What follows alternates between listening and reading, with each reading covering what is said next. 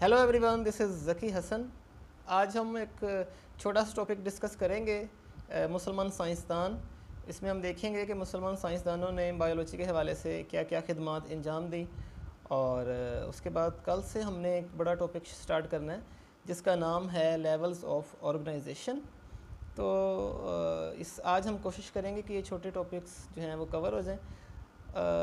अच्छा lecture start करने से पहले मेरी आपसे ये गुजारिश है कि आपने अगर चैनल को सब्सक्राइब नहीं किया तो सब्सक्राइब कर दें और बेल के बटन को लाजमी दबा दें ताकि मेरे नई वीडियोस जब भी अपलोड होती हैं तो आपको नोटिफिकेशन से पता लग जाए।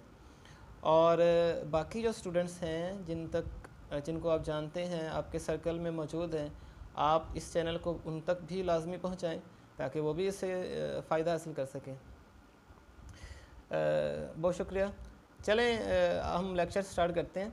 अच्छा मुसलमान साइंसदानों के बारे में आप ही जानते हैं कि उन्होंने सिर्फ़ बायोलॉजी में नहीं, बल्कि तमाम जो साइंसेस हैं, केमिस्ट्री, फ़िज़िक्स, एस्ट्रोनॉमी बाकी जो फ़िलासफ़ी है पोइट्री है, आर्ट्स के शोबे हैं, इन सब के अंदर उन्होंने खातिर ख्वाह खदमात अंजाम दी।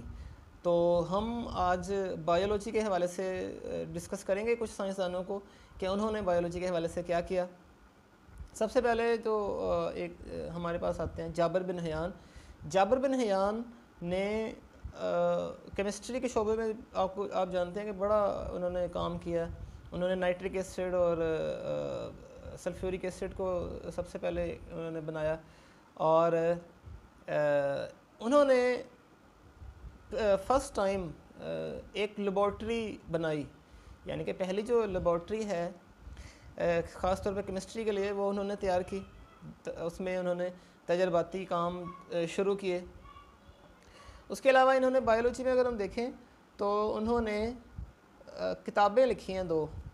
एक है अल नबातात और दूसरी है अल हैवान अल नबातात नबातात जो है वो पौधों को ये कहते हैं, यानी कि प्लांट्स इसमें उन्होंने प्लांट्स के बारे में बताया कि प्लांट्स की कुछ खसूसियात उन्होंने बताई, उनकी डिफरेंट स्पीशीज़ के बारे में उन्होंने आ, लिखा और अल हैवान यानी कि जानवर एनिमल्स उन उसमें उन्होंने एनिमल्स के बारे में जो है हमें बताया उनकी उनकी प्रॉपर्टीज़ और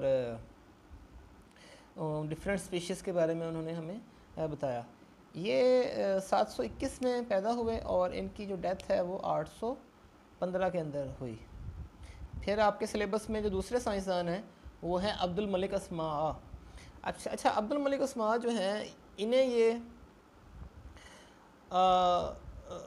इन इन्हें ये शहरत हासिल है कि इन्होंने सबसे पहले जानवरों के ऊपर बहुत कुछ लिखा उन पर तहकीक की और एक बड़ा मटेरियल हमारे लिए ये छोड़ के गए, बहुत ज़्यादा। उसमें उन्होंने कुछ किताबें हैं उनकी जो बहुत फ़ेमस हैं। उसमें एक अल अबील है अबील अरबी का लफ्ज़ है, उसको यानी कि ऊँट को कहते हैं, कैमल। तो उन्होंने उसमें ऊँट के बारे में बहुत सारी चीज़ें बताई। दैन फिर उन्होंने लिखा अलखेल। अलखेल भी अरबी का लफ्ज़ है, इसका मतलब होता है घोड़ा। यानी उन्होंने घोड़ों के बारे में हमें बताया उसमें। और उस फिर, उसके बाद अल वहूश वहूश को अरबी अरबी का लफ्ज़ है, जिसको हम एनिमल्स कहते हैं, जानवर। और इनकी आखिरी जो किताब है, खलकल इंसान। यानी कि इंसान के बारे में उन्होंने बताया, उसका आगाज़ उसकी जो ओरिजिन के बारे में हमें बताया। तो ये चार किताबें उनकी बहुत फ़ेमस हैं और आपके सिलेबस के अंदर मौजूद हैं। इन चार किताबों के नाम अक्सर पूछ लिए जाते हैं पेपर के अंदर। फिर बू अली सीना आते हैं। बू अली सीना को फाउंडर ऑफ़ मेडिसिन कहा जाता है। यानी कि ये मुसलमान साइंसदानों में भी और ओवरऑल पूरी दुनिया के अंदर अगर हम देखें तो इन्होंने मेडिसिन के ऊपर बहुत ज़्यादा काम किया। तिब के शोबे में ये बहुत आगे थे इसलिए इनको सिर्फ़ मुस्लिम ममालिक में नहीं, बल्कि गैर मुस्लिम ममालिक यूरोप, अमेरिका के अंदर भी इन्हें बहुत ज़्यादा पजीराई हासिल है। और इनकी बुक्स जो हैं, वो मगरब के अंदर, यानी यूरोप के अंदर अभी भी पढ़ाई जाती हैं। इनकी बड़ी मशहूर किताब है, अल कानून फिल तिब ठीक है? प्रिंसिपल्स ऑफ़ मेडिसन तो इस किताब को काफ़ी शहरत हासिल है, जो आज भी यूरोप के अंदर पढ़ाई जाती है। इसके अलावा ये बाकी शोबों में भी बहुत इन्होंने खदमात अंजाम दी। जैसे फ़िलासफ़ी है और एस्ट्रोनॉमी है पोइट्री है। तो इन्होंने इस इन शोबों के अंदर भी काफ़ी खदमात अंजाम दी। तो ये हमारे जो तीन साइंसदान हैं, हमारे सिलेबस के अंदर, उनको आज हमने कवर कर लिया है। इनका थोड़ा सा मैं मज़ीद अभी बताता हूँ आपको। जाबिर बिन हयान का मैंने बताया था कि 721 से 815 यानी कि 721 में पैदा होते हैं और 815 में इनकी डेथ हो जाती है। अच्छा अब्दुल मलिक असमा 740 में पैदा हुए और उनकी डेथ 828 में हुई। अच्छा ये इनकी किताबों के नाम हैं, अल अबील कैमल, अल खेल घोड़ा, अल वहूश एनिमल और खलकुल इंसान। अब ये चार किताबों के नाम इंतहाई अहम हैं इनको आप याद रखिएगा। ये पेपर के अंदर पूछ लिए जाते हैं। बू अली सीना 980 में पैदा हुए और एक हज़ार सैंतीस में इनकी वफ़ात होती है। तो फाउंडर ऑफ़ मेडिसन इन्हें कहा जाता है। अच्छा इनको वेस्ट के अंदर, यानी मगरब के अंदर, मगरबी मगरबी ममालिक के अंदर, इन्हें, इनका जो नाम है वो एविसीना एविसीना के नाम से इनको पुकारा जाता है। सही है?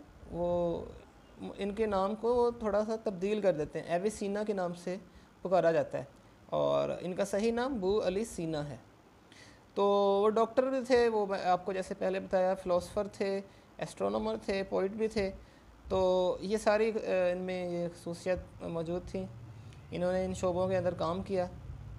और अल कानून फ़िल तिब, ये इनकी बहुत ही मशहूर किताब है, जिनके अंदर इन्होंने मुख्तलिफ़ कवानीन, प्रिंसिपल्स, अद्वियात के बताए हैं, उनको बनाना और उनको उनके इस्तेमाल के बारे में उन्होंने बताया है।